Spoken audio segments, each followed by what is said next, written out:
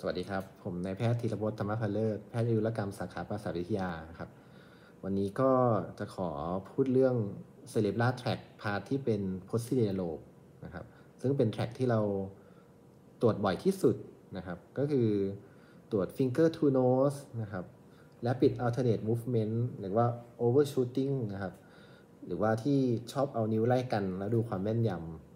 แล้วก็พวก heel to knee พวกนี้เราเป็นอะไรที่เราตรวจเยอะ ซึ่งเป็น sign ของ periphery ของ cerebellar ก็คือทาง posterior lobe tract นี้แน่นอนมันก็ต้อง connect กับ motor area motor area นะครับ แล้วก็มีการ feedback แบบที่ cerebellar แล้วก็กลับขึ้นไปเพื่อสร้างความแม่นยำระหว่างแรงและเวลา ให้มันให้มัน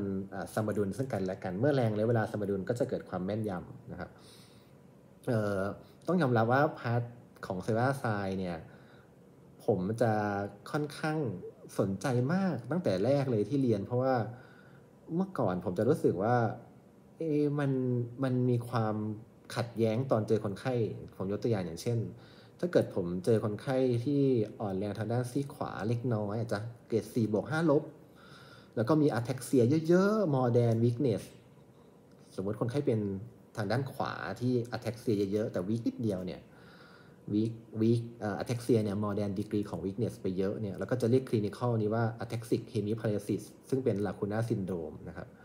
เป็นหนึ่งใน lacunar syndrome ซึ่งสมมติว่า MRI มาแล้วเจอว่าเป็น left p o l i t i o n เนี่ย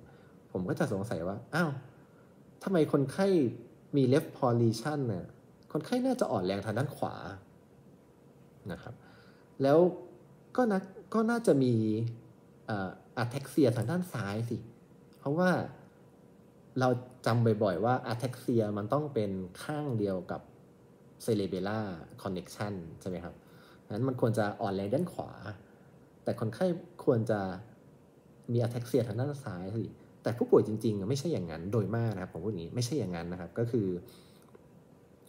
มักจะอ่อนแรงทางด้านขวานิดหน่อย แล้วก็มี ataxia ทางด้านขวาเยอะ ซึ่งเป็นข้างเดียวกันด้วยนะครับทำให้ผมสงสัยมากว่าเอ๊ะแล้ว tract ของ cerebellar เนี่ย tract เนี้ยมันเดินทางยังไงนะครับ ซึ่งเดี๋ยวผมก็จะได้พูดต่อไปนะครับ ใน part ที่ 2 ก็คือเป็น part ว่า